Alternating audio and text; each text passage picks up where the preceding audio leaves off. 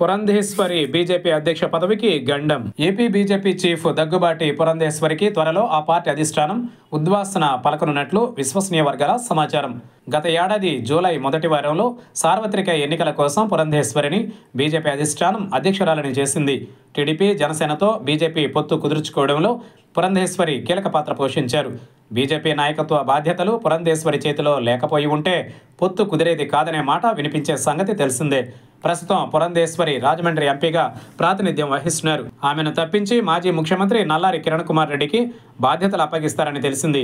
ఇప్పటికే కిరణ్తో బీజేపీ అధిష్టానం చర్చించి ఒక నిర్ణయం తీసుకున్నట్టు సమాచారం. అక్టోబర్లో పురంధేశ్వరిని తప్పించొచ్చని ఢిల్లీ బీజేపీ వర్గాలు చెబుతున్నాయి.